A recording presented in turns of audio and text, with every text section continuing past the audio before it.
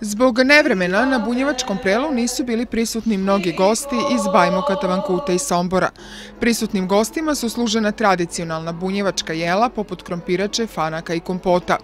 Članovi Kulturno-umetničkog društva Bunjevka odigrali su skeč kojim su predstavili običaje na prelu. Mi sa zadovoljstvom nastojimo da dan velikoga prela održimo na ovaj način i da priuštimo našim bunjevcima da prelo u pravom smislu bude prelo kako smo ga mi nasledili i od naših predaka. Prvo javno prelo organizovala je Pučka kasina 1879. godine. Tada je prisustvovalo oko 1500 gostiju.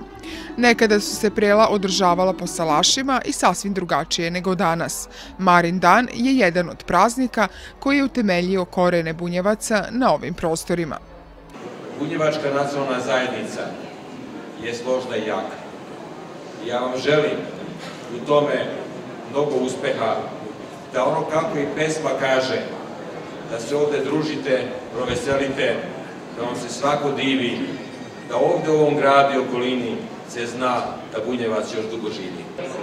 Oni dokazuju, ti datumi, o postojanju i trajanju jedne zajednice koja je u svojoj istoriji i kulturnom nasledju toliko čista da je na ovim prostorima skoro nema rada.